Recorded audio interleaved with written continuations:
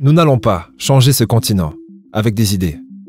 Nous allons changer ce continent avec des idées mises en pratique. Mais les gars, il y a une énorme distance entre les idées que vous avez et le chemin à parcourir pour mettre en place ces idées. La plupart des gens rêvent secrètement de liberté depuis leur zone de confort.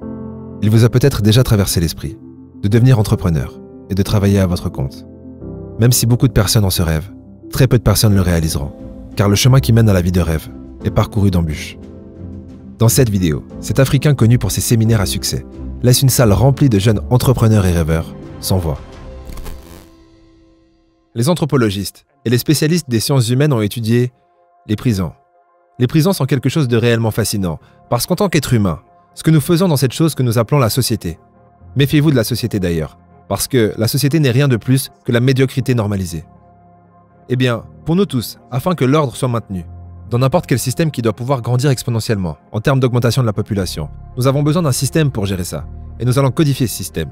Et nous allons ensuite appeler ces choses le bon comportement. Catégoriser. Les règles. Les lois. Si vous les transgressez, nous vous punirons. Nous devons le faire, car sinon ça sera le désordre. C'est comme si personne ne vous dit Assieds-toi du côté gauche de la voiture et conduis sur le côté droit de la route. Vous allez vous asseoir où vous voulez et vous allez conduire comme vous le voulez. Et nous ne pouvons pas créer une société comme ça. Donc ce que la société fait, c'est qu'elle écrit ses règles, elle les codifie, en créant une moyenne pour la moyenne des gens. L'être humain moyen devrait être comme ça. C'est pour ça que votre mère vous dit va à l'école, obtiens une bonne éducation, trouve un travail, trouve un mari, fais 2,5 enfants, vis dans une belle maison. C'est la raison pour laquelle elle vous dit ça, car votre mère vient d'une société avec un système de médiocrité normalisée. Et ensuite vous arrivez et dites non, peut-être pas. Peut-être que je n'ai pas envie de finir mes études, ou peut-être que je le veux, mais je ne veux pas trouver un travail. Je veux bien passer les 5 prochaines années sans savoir d'où viendra mon prochain repas, parce que j'ai un rêve.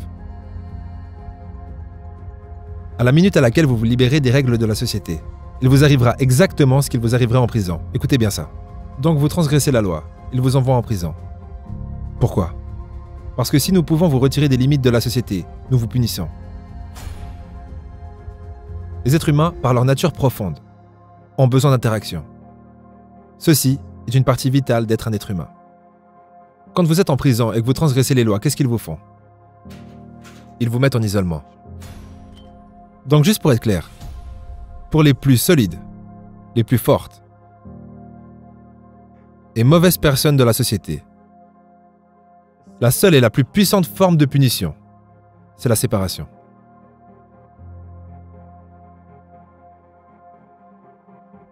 Ce n'est pas une punition physique c'est que je vais te mettre dans un trou, tout seul. C'est tout.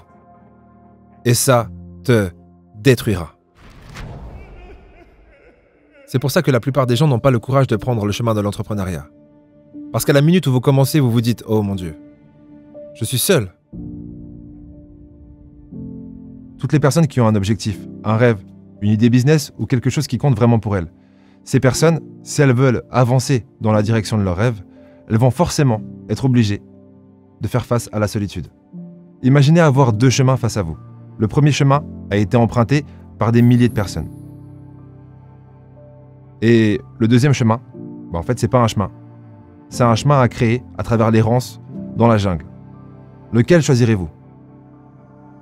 Si vous prenez le chemin qui a été pris par des milliers de personnes, l'avantage, c'est qu'il est déjà tracé. Mais le désavantage, c'est que vous n'apprendrez rien sur ce chemin. Et en plus, toutes les baies sur le bord du chemin ont déjà été ramassées. Donc le seul bénéfice à prendre ce chemin, c'est la facilité.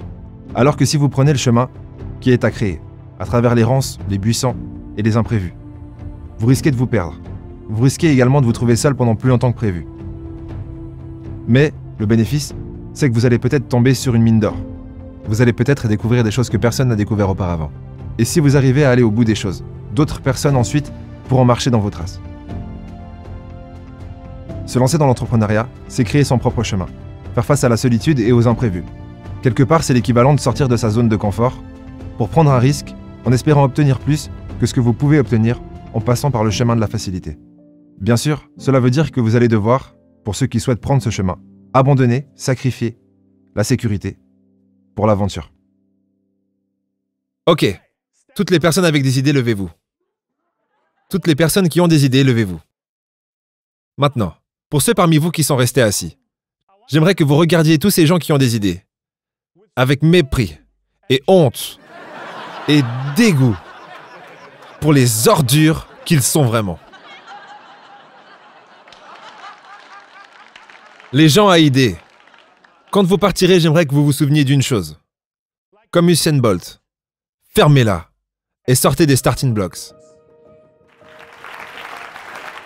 Arrêtez de parler de ça. Arrêtez d'envoyer des emails à ce sujet. Arrêtez d'écrire des business plans. Arrêtez de créer des sites web pour des choses qui n'existent pas. Fermez-la et faites-le.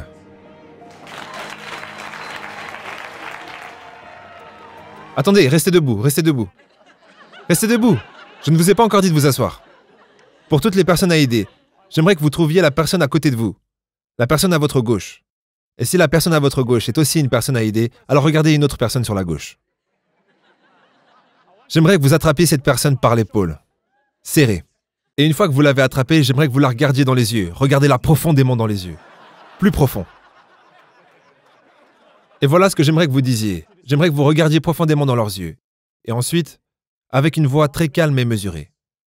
Avec une tonalité très sophistiquée. J'aimerais que vous disiez ça. Je promets.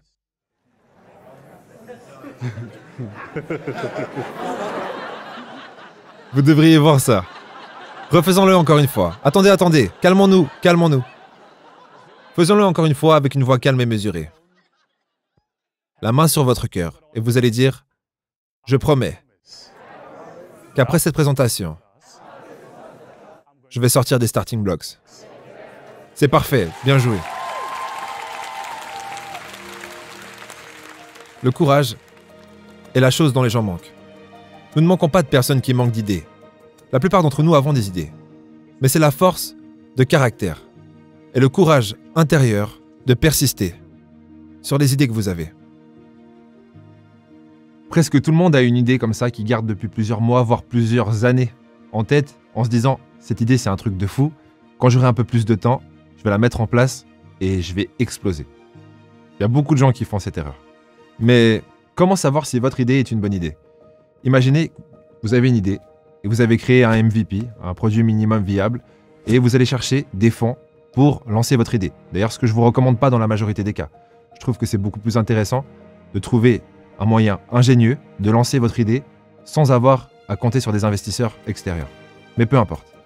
Comment savoir si votre idée est une bonne idée? C'est très simple.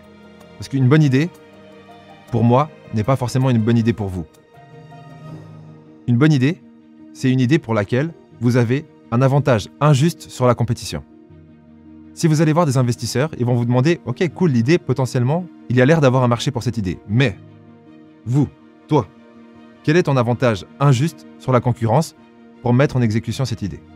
S'il n'y a pas de réponse à cette question, c'est que ce n'est pas une bonne idée pour vous. Et du coup, comment développer un avantage injuste sur la concurrence?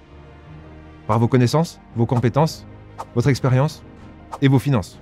Le pire des avantages, ça serait de n'avoir que des finances. Parce que forcément, vous allez les perdre si vous n'avez pas les connaissances, les compétences et de l'expérience. Comment développer des connaissances, des compétences et de l'expérience? C'est très simple. En commençant à faire quelque chose. Et ce que vous allez découvrir, c'est que le chemin qui mène au succès, bah, ça sera vos échecs qui vous apporteront les connaissances, les compétences et l'expérience.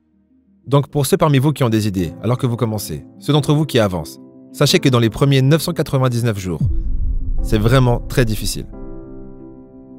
La raison est simple, c'est parce qu'il n'y a rien encore, tout est à construire. Vous voyez ce bâtiment dans lequel nous sommes. J'adore l'architecture et j'adore les bâtiments.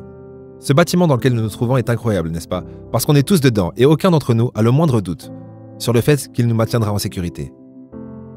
Aucun d'entre nous ici s'est demandé si cette chose en dessus de nous pouvait s'effondrer sur notre tête. La raison c'est parce que la fondation de ce bâtiment a été parfaitement gérée. Donc la partie la plus importante du bâtiment, c'est la partie du bâtiment que nous ne voyons pas. Et donc pour chacun d'entre nous, entrepreneurs, cette fondation est cruciale. Et cette fondation commence par vous et commence ici. Vous ne pouvez pas la construire, à part si vous vous construisez vous-même. Donc un business, c'est quelque chose que vous créez pour le monde. C'est une manifestation de vous-même, vos idées, votre créativité, vos pensées. Mais si vous n'allez pas bien, ça ne fonctionnera jamais. La plupart d'entre nous sommes brisés à l'intérieur. Et nous ne réparons pas la chose qui est brisée. On la camoufle. C'est comme si j'ai grandi avec un manque j'ai souffert. On m'a dit que je ne valais rien. Maintenant que je réussis, je vais montrer mon succès à tout le monde. Parce que s'il m'affirme que je suis quelqu'un, alors ça doit être vrai. Et avant que vous atteigniez cet état où vous réalisez que leurs affirmations ne sont pas nécessaires, qu'en réalité vous êtes totalement libre. Donc pour ceux qui veulent avoir un business, si ce sont les affirmations extérieures que vous cherchez, vous allez échouer. Ça ne fonctionnera pas. Est-ce que ça a touché un nerf pour toi? Ouais. C'est dur. Je veux dire, et cela arrive lorsque vous avez un rêve, quand vous êtes dedans, et que vous êtes là, mais pourquoi est-ce qu'ils ne comprennent pas? Le monde doit être, mais est-ce qu'ils ont perdu la tête? Avez-vous déjà vu quelque chose que personne d'autre ne voit, mais vous savez que c'est là, parce que vous pouvez le voir Vous êtes là, mais là Et vous leur expliquez, mais ils ne voient rien. Et à ce moment, la seule chose qui vous permet d'avancer, c'est de réaliser que la seule affirmation dont vous avez besoin vient de vous. Lorsque vous avez un rêve et que vous êtes convaincu, il est assez facile de convaincre n'importe qui. Mais dès le moment où vous avez un jour difficile ou une période difficile et que vous arrêtez d'y croire, d'un coup, tout disparaît. Et du coup, quel genre de motivation, quel genre de raison, de pourquoi, pourrait vous permettre de rester focalisé sur l'idée que votre rêve va s'accomplir? Selon moi, il y a trois types de motivation à connaître. La première, c'est la motivation extrinsèque. On peut d'ailleurs diviser la motivation extrinsèque en deux catégories. La première, c'est positive. Elle consiste dans la majorité des cas à vouloir des biens matériels, par exemple une voiture. Et ça, c'est la motivation la plus faible. Une motivation un peu plus puissante, c'est d'avoir une motivation extrinsèque négative. Par exemple, si vous ne faites pas ce que vous avez à faire, vous allez perdre votre voiture. C'est plus puissant que le désir d'en obtenir une nouvelle. Après, il y a la motivation intrinsèque. C'est une motivation intérieure, qui est plus focalisée sur l'idée d'évoluer et de prendre du plaisir dans l'activité en soi. Donc vous ne faites pas ce que vous faites uniquement pour obtenir plus d'argent ou plus de biens matériels ou pour ne pas en perdre, mais vous le faites parce que vous avez un plaisir à vous améliorer dans ce que vous faites. Et pour finir, la motivation la plus puissante, c'est la motivation prosociale. C'est lorsque vous faites quelque chose pour vous, mais également pour les gens que vous aimez. Ça peut être vos parents, pour pouvoir les protéger, ou ça peut être pour une organisation que vous souhaitez aider. Cette motivation est la plus puissante. Et si vous combinez ces trois types de motivation au quotidien, Lorsque vous aurez des jours plus difficiles, il vous sera facile de vous rappeler pourquoi est-ce que vous faites ce que vous faites. Et du coup, de ne pas abandonner. Si cet épisode vous a plu, n'oubliez pas de mettre un pouce en l'air, de vous abonner, cliquer sur la petite cloche, et moi je vous dis au prochain épisode.